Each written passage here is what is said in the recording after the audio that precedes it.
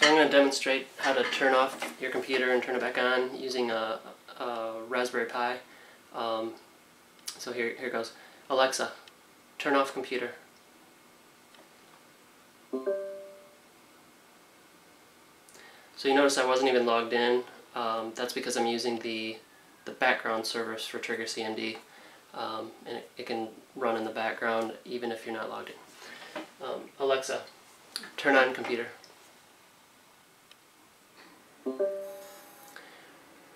It's booting up, and that'll, that'll take a little bit, so uh, I'll probably cut this chunk of the video. So now let me show you how I did that. Um, so these are the components.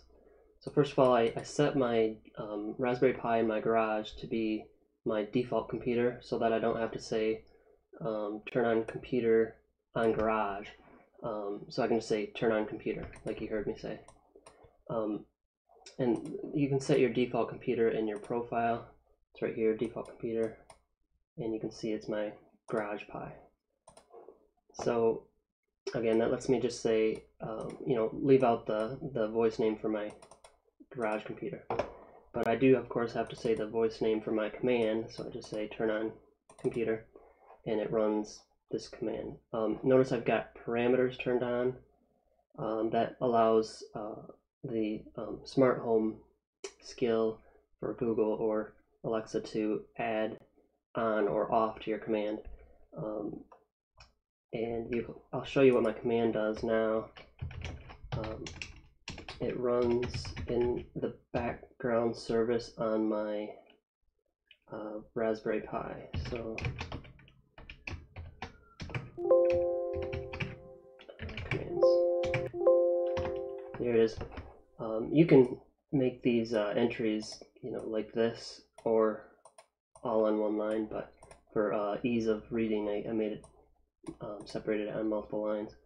So you can see it runs in the background. Uh, the voice word is computer, as you saw in the GUI. Um, let's see, it runs this command, and parameters is on, so it ends up running, you know, uh, computer on off space on or space off, depending on what I say on or off. All right, now let's look at the contents of this script here. So you can see if it if uh, the first parameter is off, then it will it'll run this. Um, I just made a, a log, so it makes it easy to uh, to troubleshoot. You can see I've tried it a couple times. Um, so if it run if it's off, it'll send uh, it'll it'll tell Trigger CMD to run shutdown now on my DS computer. But if it's uh, anything else, you know, like on, then it'll run wake on LAN with the uh, the MAC address of my uh, computer's NIC, which I can show you how to see that.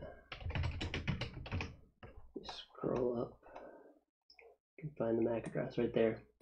Um, so the physical address. It, you know, on Windows, it shows you the dashes, but you have to. I think you have to. I, I guess.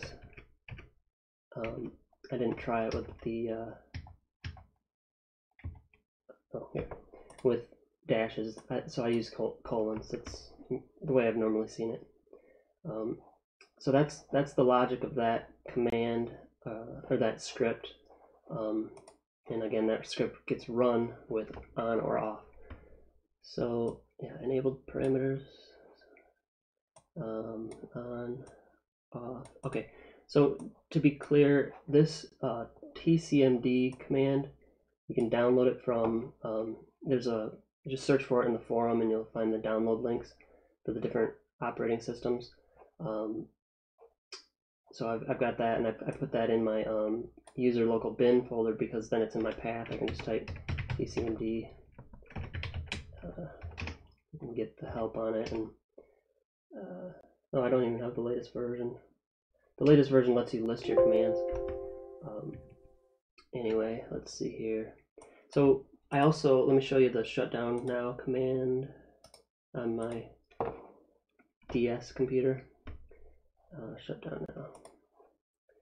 You can see uh, I didn't even need to uh, parameters. Let's see. Yeah, it just runs this um, which is shutdown. Instead, if it was slash R, it'd be reboot. Um, and T is the time, the number of seconds it's gonna wait till it reboots. And I just set it to one second, so it does it right, you know, right away. Um, and that's, you know, that's about it. Uh, I, I like this example because it it shows the coordination between, you know, two computers, my Raspberry Pi and my uh, my uh, computer I'm shutting down. Um, so one more for, one more thing I almost forgot to show you is uh, you have to go into your BIOS to enable um, Wake on LAN, uh, and not all BIOSes have it. Uh, so your mileage may vary. So uh, don't be mad if it doesn't work for you. Um, and I've even seen it where you enable it and it still doesn't work for some reason. So, like I said, your mileage may vary, um, and I'm sorry about that. Um, you know, some computers support it better than others.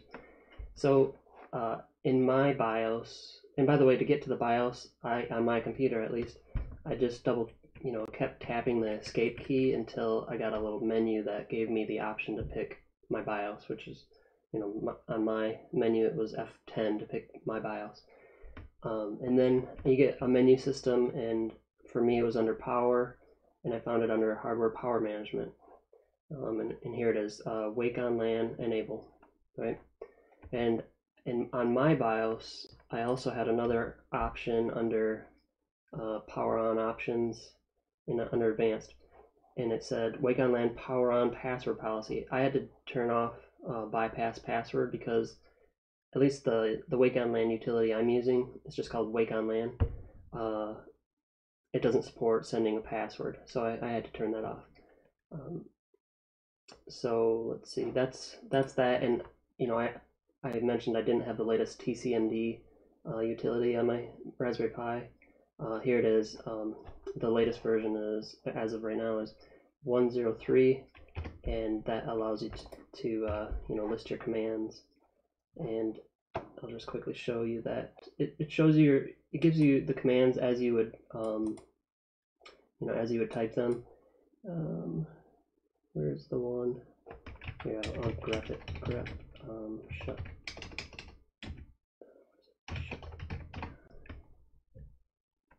There it is. So this is the command that would shut down my computer, but I don't really want to run that right now. Um, so yeah, thanks for watching. Uh, again, like, subscribe. Bye.